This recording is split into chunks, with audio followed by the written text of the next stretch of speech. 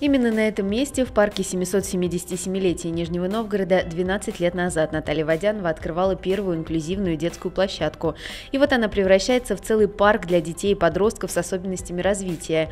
Хотя играть здесь могут все желающие, причем абсолютно бесплатно и в любое время.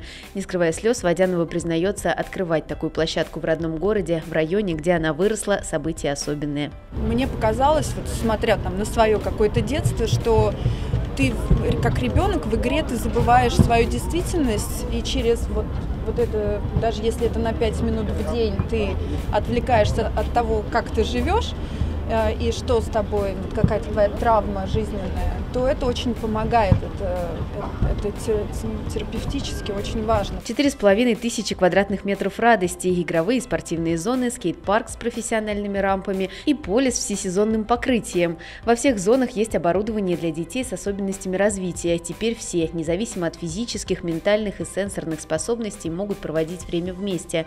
Доказано, что спорт объединяет людей, и именно такие площадки могут помочь решить проблему социальной изоляции особенных людей. Дети, как вам вообще все это? Нравится? Здесь э, стало гораздо лучше. Здесь э, новые лазейки, здесь все очень хорошо. Я даже не знаю, как это все сказать.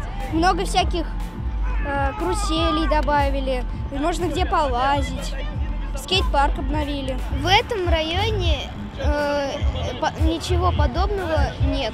В следующем году подобные детские площадки появятся в автозаводском парке и в парке Швейцария. Мы с Натальей обсуждали, что как раз опыт фонда с точки зрения, как спланировать, как подготовить, мы сейчас будем это применять и делать по крайней мере, уровня не хуже, а постараемся, может быть, и лучше. Владимир Панов заявляет, что эта инклюзивная площадка дает старт открытию в городе специальных детских общественных пространств.